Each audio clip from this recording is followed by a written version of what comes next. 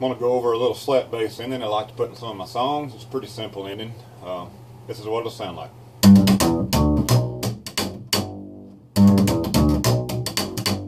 If you're in G, go down to D, back to G. This is how the ending will sound with the 1-5 turnaround.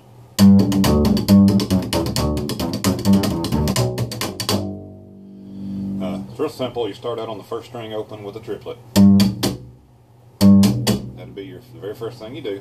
Then you put a snap on the E on the second string, which you just pull the string, let it snap back into the fingerboard. Do the same thing on the open string, D.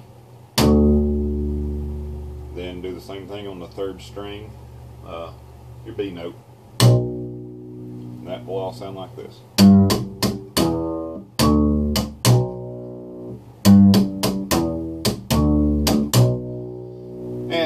I play it up to speed, I do come back in and get a single slap in between them.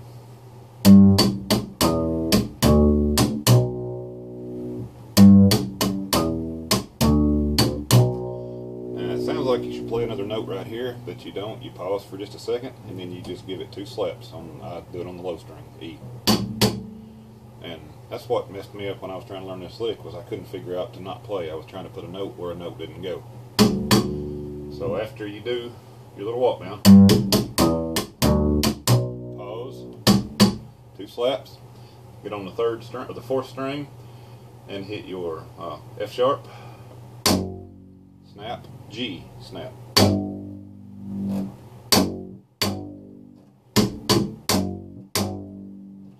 From the two slaps open.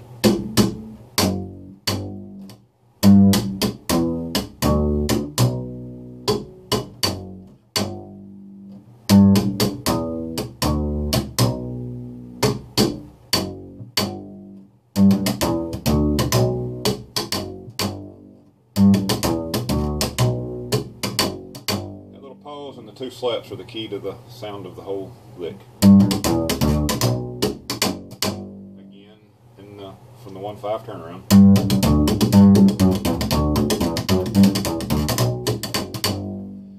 Um, move the lick to A, then you can do it just about any key you want to.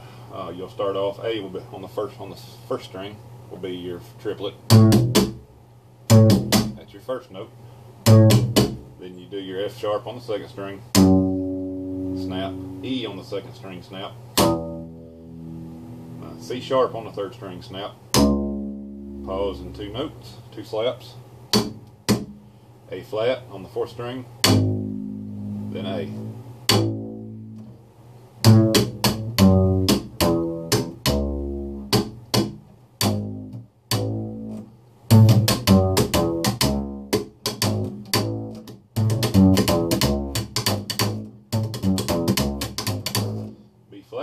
move everything up one fret.